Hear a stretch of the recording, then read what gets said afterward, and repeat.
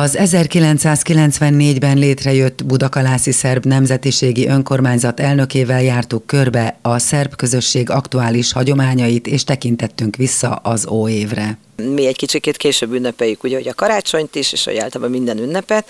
Az új év, vagyis a szilveszter az január 13-án este van. Ezt ugyanúgy zenés táncos mulatsággal szoktuk megünnepelni.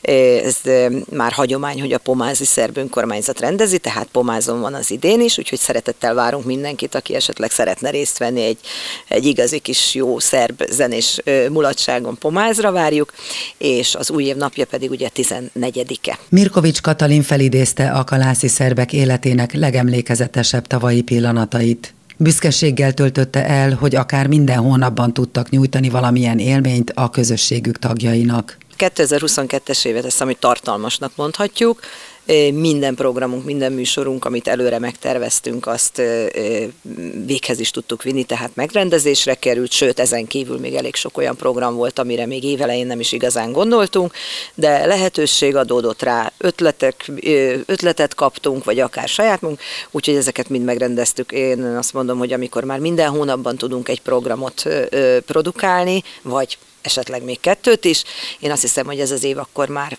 végre eredményesnek mondható, ugye, hiszen előtte ez a Covid, ez sajnos nagyon belassított mindenkit, és mindenkit meg, megakadályozott abban, hogy, hogy tényleg tudja végezni a munkáját, és, és programokat tudjon produkálni. 2018. szeptember 1-től a Magyarországon élő nemzetiségek többek között a szerbek támogatásának kezelését a Betlen Gábor alapkezelő ZRT végzi. A nemzetiségi támogatások célja, hogy ezeket a közösségeket nyelvük, kulturális hagyományaik, szellemi és tárgyi örökségük méltó ápolásában segítse, és ezzel hozzájáruljon Magyarország kulturális sokszínűségének megtartásához. Sajnos ebben a mostani anyagias világban valóban ez így van, hogy nagyon-nagyon sok függ ugye az anyagi lehetőségektől, de ezekben a, ezek a programok teljesen változatosak, tehát ugye van bennük olyan program, ami akár egész napos, tehát, tehát itt a, a vendégeknek ebéddel, vacsorával, zenekarral, minden, ezek a drágább programok,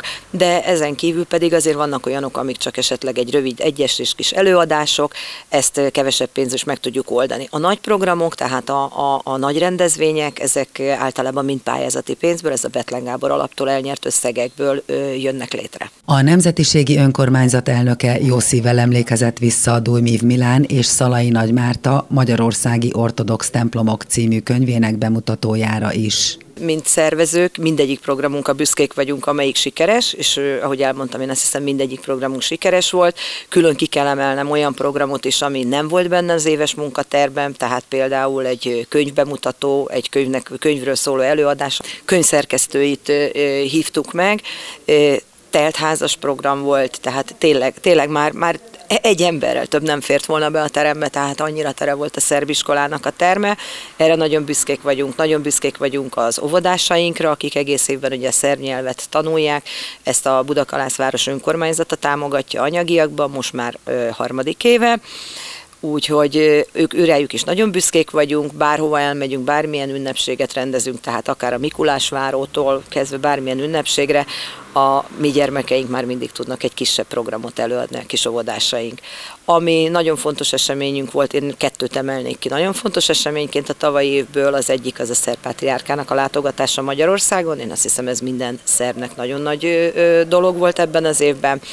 A másik pedig a népszámlálással kapcsolatos, hiszen ugye nem győzük hangsúlyozni, hogy mennyire fontos az, hogy aki nemzetiségi, nemzetiséghez tartozik, az oda is vallja magát. Ez nagyon fontos. Az idei eredményeket még nem tudjuk, erre azt mondták, hogy előzetes eredmények majd valamikor az év első, első negyedévben, tehát 2023 első negyedévében várható, és a végleges adatok azok pedig majd csak valamikor ősztáján. Kíváncsiak vagyunk, nagyon várjuk ezeket az eredményeket. A 2001-es népszámlálásnál 3388 szerb anyanyelvűt jegyeztek, és 3816 szerb nemzetiségű személyt írtak össze a népszámláláskor. Úgyhogy kíváncsiak leszünk most erre az eredményre, hogy ez mennyire, mennyiben változott. Mirkovics Katalin a 2023-as esztendőre vonatkozó terveket illetően még titokzatos volt, ahogy elmondta, sok minden függ attól, hogy milyen anyagi lehetőségek kínálkoznak majd számukra. Nagyon sok tervünk van, nagyon, nagyon sok programot szeretnék, ugyanúgy, mint ahogy a 2022-ben volt.